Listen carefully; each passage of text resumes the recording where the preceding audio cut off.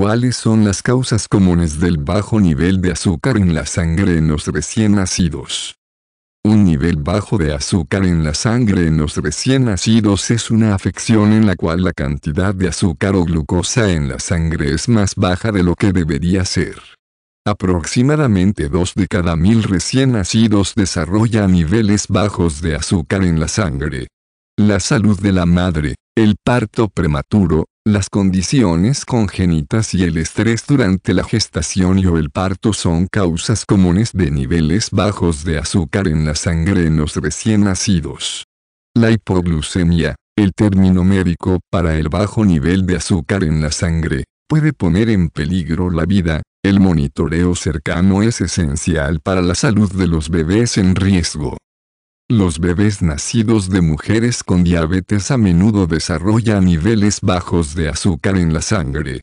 Durante la gestación, el cuerpo de un bebé se acostumbra a producir insulina adicional en respuesta a los altos niveles de azúcar de la madre. Al nacer, el cuerpo del bebé, que todavía produce insulina adicional, consume toda la azúcar almacenada en el hígado. Cuando esto sucede, se desarrolla un bajo nivel de azúcar en la sangre. Los bebés prematuros y los bebés pequeños para la edad gestacional también pueden experimentar niveles bajos de azúcar en la sangre. Esto es especialmente cierto para los bebés con bajo peso al nacer. Estos bebés no pueden almacenar suficiente azúcar en sus hígados o son demasiado inmaduros para funcionar bien fuera del útero. Cuando se agotan sus reservas de glucosa, los niveles de azúcar en la sangre pueden disminuir. Las afecciones congénitas como el hipopituitarismo, el hiperinsulinismo y las enfermedades por almacenamiento de glucógeno pueden ser causa de un bajo nivel de azúcar en la sangre en los recién nacidos. En el hipopituitarismo, la glándula pituitaria no le dice a las otras glándulas que secreten la cantidad correcta de hormonas. En el hiperinsulinismo, se secreta demasiada insulina en el torrente sanguíneo y las reservas de azúcar en el hígado se consumen demasiado rápido. La enfermedad de almacenamiento de glucógeno, consiste en 14 trastornos diferentes que afectan la capacidad del hígado para almacenar carbohidratos como glucógeno. El estrés durante la gestación o el parto puede causar un bajo nivel de azúcar en la sangre en los recién nacidos. Si la madre tiene malos hábitos alimenticios durante el embarazo, ayuna o produce leche materna inadecuada, es probable que su bebé tenga un nivel bajo de azúcar en la sangre.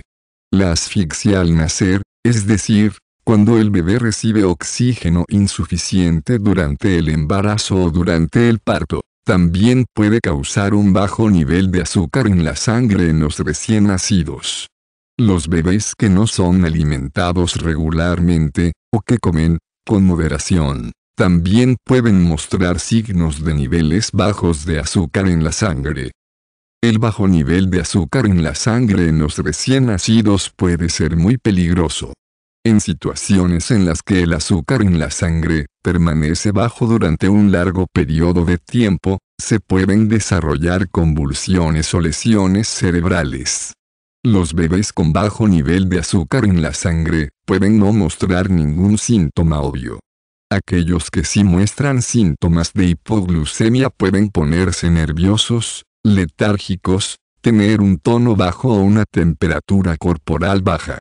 También pueden volverse cianóticos o azules, e incluso pueden dejar de respirar. Los cuidadores de bebés en riesgo de hipoglucemia deben estar conscientes de los signos y síntomas para que puedan responder rápidamente si se desarrolla la enfermedad.